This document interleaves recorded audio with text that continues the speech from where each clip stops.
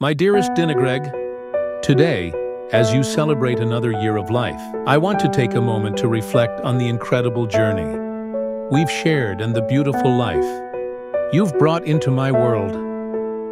From the moment you came into my life, everything changed. You are not just my wife, but my best friend, my confidant, and my love.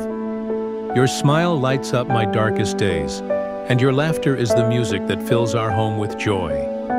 You have a heart that is boundless, filled with love, compassion, and an incredible strength that inspires me every day.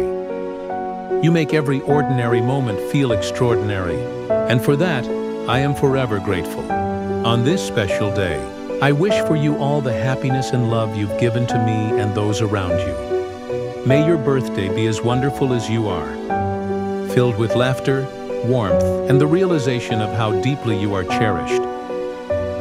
Happy birthday, my love. Here's to another year of growing together, of loving each other more deeply, and of creating countless more memories. With all my love, Iro Gergnamidum.